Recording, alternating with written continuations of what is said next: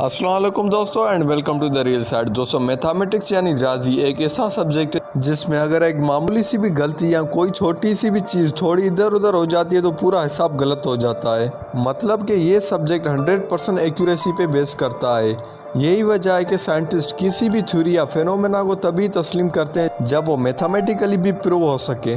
दोस्तों, इस बात में तो कोई शक नहीं कि कुरान पाक अल्लाह की मुकदस किताब है और अल्लाह कुरान में वाजे कहता है कि कह दो कि अगर इंसान और जिन इस बात पर जमा हो जाए कि इस जैसा बना लाए तो वो इस जैसा ना ला सकेंगे, अगर चाहे वो एक दूसरे की मददगार हो। दोस्तों, इस आयत से ये पता चलता है कि कुरान पाक जैसी किताब को लिखना किसी इंसान के बस की बात नहीं। और बेशक ये अल्लाह ताला ने अपने रसूल हज़रत मोहम्मद सल्लल्लाहु अलैहि वसल्लम पे नाजिल की और आज तक इसमें एक जेर ज़बर की भी तब्दीली नहीं आई। दोस्तों, यूँ तो बहुत सारे कुरान के मोजे हैं, लेकिन आज हम आपको कुरान पाक में मौजूद एक मैथामेटिकली मोजे के बारे में बताएँगे, जिससे आपको कुरान की एक्यूरेसी का पता चलने लगेगा। दोस्तों मल्टीपल सिंपली उस वैल्यू को कहते हैं, जिससे कोई और वैल्यू डिवाइड हो सके। जैसे कि 20 मल्टीपल होता है पाँच का और आठ मल्टीपल होता है दो का। मतलब 20 से पाँच डिवाइड हो सकता है और आठ से दो डिवाइड हो सकता है। दोस्तों नंबर 19 पाँच या दो की तरह इतना कॉमन नहीं है। मतलब वो बहुत सारी वैल्यू से डिवाइड नहीं होता।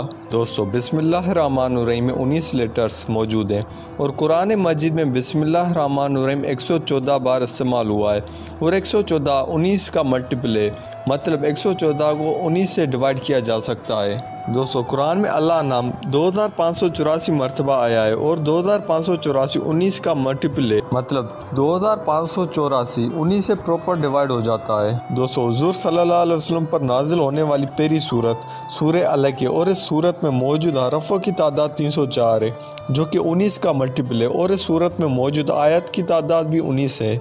दोस्तों, अगर हम पहली नाजिल होने वाली सूरत सूर अलग, जो कि तरतीब के हिसाब से कुरान में छियानवे नंबर पर है उससे गिनती करना शुरू करें तो उन्नीसवीं सूरत ठीक सूर नाज बनती है, जो कि कुरान में आखिरी नाजिल होने वाली सूरत है।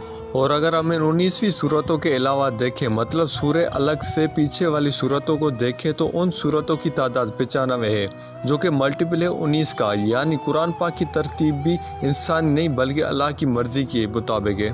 दोस्तों, कुरान पाक में अंदर मौजूद नंबर्स या डिजिट्स को अगर हम प्लस करें तो उनका सम एक लाख बासठ हज़ार एक सौ चालीस बनता है, जो कि अगेन मल्टीपल उन्नीस का। दोस्तों, कुरान पाक की सूरत मुदसर में अल्लाह फरमाता है कि दोजक पर हमने उन्नीस मुहाफ़ फरिश्तों को मुकर कर रखा है। अब इसमें क्या हमत है? ये तो अल्लाह ही जानता है, लेकिन इतना अंदाज़ा ज़रूर हो जाता है कि उन्नीस का ताल्लुक अल्लाह की किसी हिफाजत इंतज़ाम से है। दोस्तों, कुरान पाक की कुछ सूरतों में हरूफ मुकातात यानी अलिफ, लाम मीम या ता, जिसे हरूफ आते हैं। अगर हम उन सूरतों में उन सब मुकातात हरूफों को प्लस करके टोटल तादाद देखें तो वो तीन सौ इकसठ बनती है, जो कि उन्नीस का मल्टीपल है। मतलब कि दोस्तों कुरान पाक में एक एक लफ्ज़ और हरूफ भी नहायत एक्यूरेसी से रखा गया है। और अगर एक लफ्ज़ या हरूफ भी निकाल दिया जाए या तब्दील किया जाए तो पूरे कुरान पाक का मैथमेटिकल कॉम्बिनेशन टूट जाएगा। और इनके अलावा कुरान में दुनिया लफ्ज़ 115 बार इस्तेमाल हुआ है और आखिरत भी ठीक 115 बार इस्तेमाल हुआ है। मतलब जितना दुनिया के बारे में ज़िक्र हुआ है, उतना ही आखिरत के बारे में और इसमें एक या दो भी फ़र्क नहीं। और मौत का ज़िक्र 145 और ज़िंदगी का भी ज़िक्र 145 बार हुआ है।